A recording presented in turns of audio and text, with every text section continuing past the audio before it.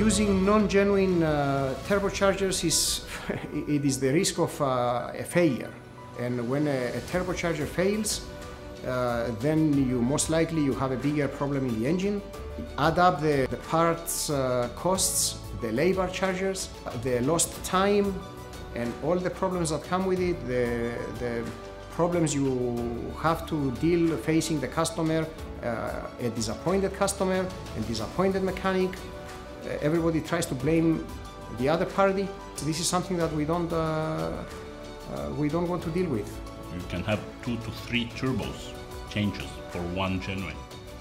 Now, if you do the mathematics, you will quickly see that it's better to fit a genuine turbo from the beginning. But unfortunately, many people do not see this because they look at the short term only.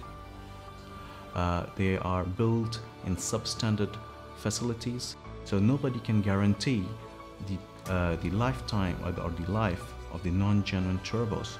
Uh, that's why it's a huge risk.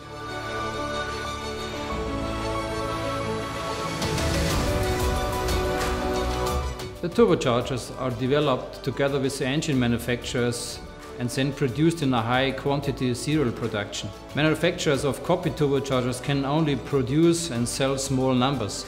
Therefore, they do not having the possibility to ensure the same quality in terms of material, fine-tuning and development know-how.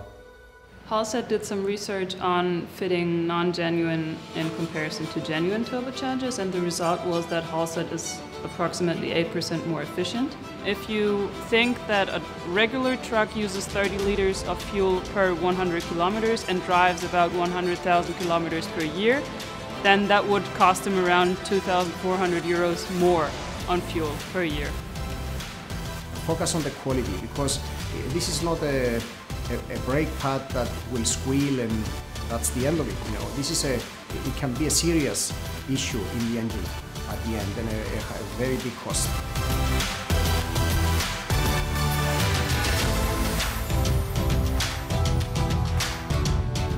We've invested millions and millions of dollars and, many, many years in optimizing that part for the application.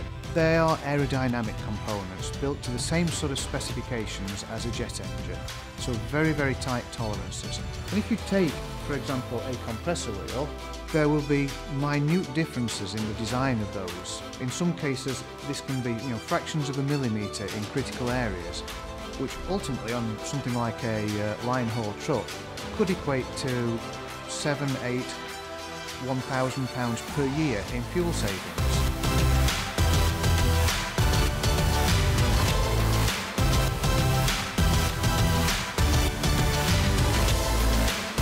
It's very difficult, even for us, to understand whether it's genuine or not. And what we always like uh, to tell the, you know, the end customer, the mechanics, we always tell them make sure that you are buying your Holset turbos from an authorized Holset dealer. That's the best way to guarantee that you are buying a genuine uh, turbo.